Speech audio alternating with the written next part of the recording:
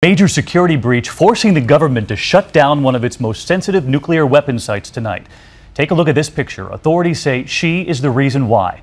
An 82 year old nun who they say cut through fences, got past high tech security. Why? And what does this say about how secure our nuclear sites truly are? Here's ABC's David Kerley now. I am Megan from Nevada. Sister Megan Rice and two others did what no one should be able to do. As part of an anti nuclear protest, they brazenly broke into one of the country's highest security facilities, the site of protests in the past. The target, the country's largest stockpile of uranium for nuclear bombs in Oak Ridge, Tennessee.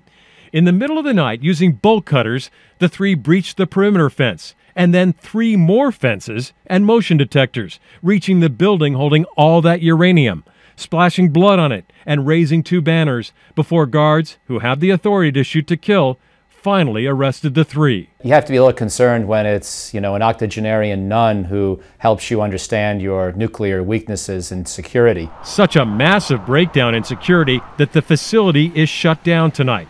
Already the government admits there were security execution deficiencies. Government officials declined our request for an on-camera interview. So, how can three peace protesters break into one of the country's most heavily guarded facilities? That's a good question, a government spokesman told us on the phone.